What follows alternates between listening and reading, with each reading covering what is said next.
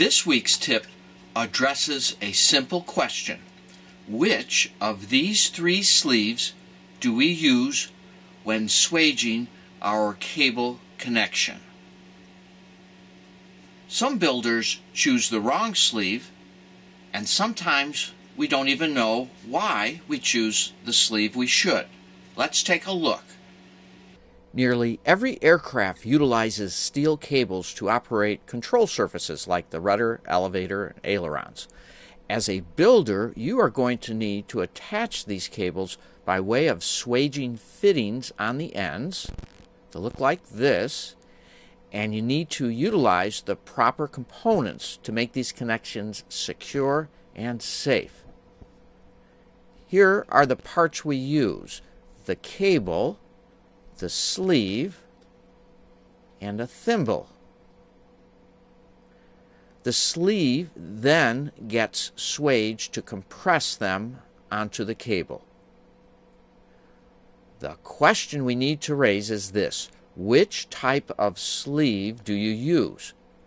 The copper ones or the silver ones? And by the way, they are all copper metal underneath any platings that you see. Does the choice matter? Because of the critical safety nature of this connection, it does matter. Any slippage of the cable at this connection can lead to possible loss of aircraft control. The sleeve material must not only grip the cable securely, it must also not corrode against the cable as we are dealing with dissimilar metals in a harsh environment. It is paramount that the proper components and procedures are followed if you are making these connections on your aircraft. You must use the correct sleeve so the connection does not slip or fail. The discussion in this presentation is for working with genuine Nicopress brand components. There are other manufacturers of these parts, and if using those, you need to follow their recommendations. In order to select the proper sleeve, we need to know whether you are using galvanized control cable or stainless steel control cable. Both types of cables are sold and used in experimental home built aircraft. The cable you choose will determine which sleeve is appropriate to use. If using galvanized cable, there are two choices of sleeves the bare copper sleeves and the zinc plated copper sleeves. These are the only two sleeves to use with galvanized control cable. Your aircraft supply store should list them as bare copper and zinc plated.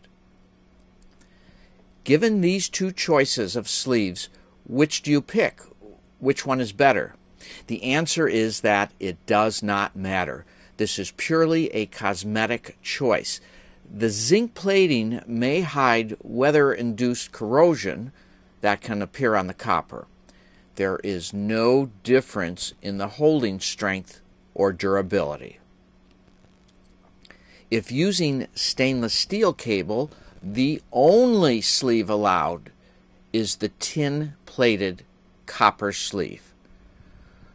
Note that while this sleeve looks a lot like the zinc plated copper sleeve, they are not the same. The copper alloy used in the tin plated sleeve is different and designed for use on the stainless steel cable.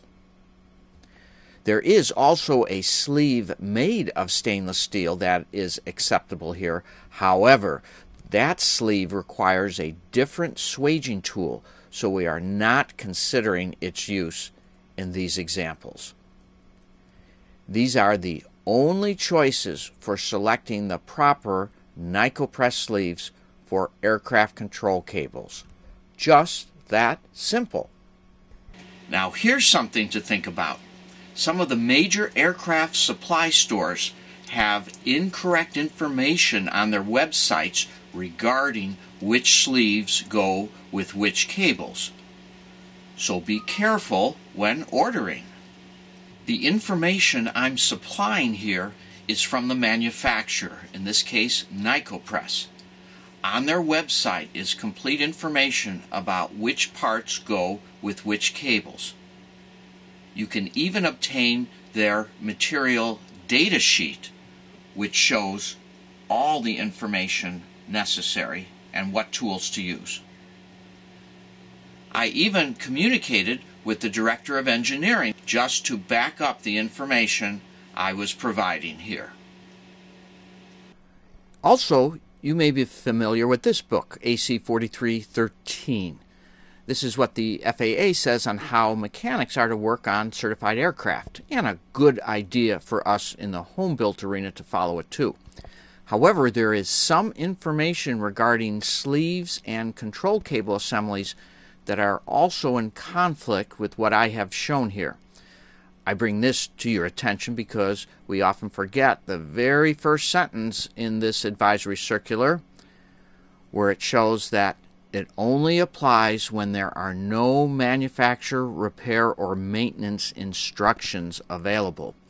This is the blanket warning about using data from this aging book as it only applies in the absence of the most recent manufacturer information. So in our case, we do have manufacturer instructions, and the charts in 4313 would not apply in this specific case.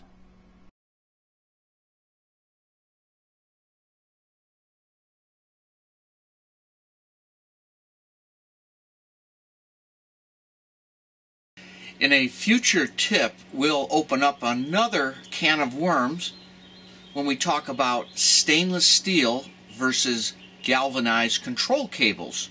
Which should you use? Until then, you know the routine. Back to building.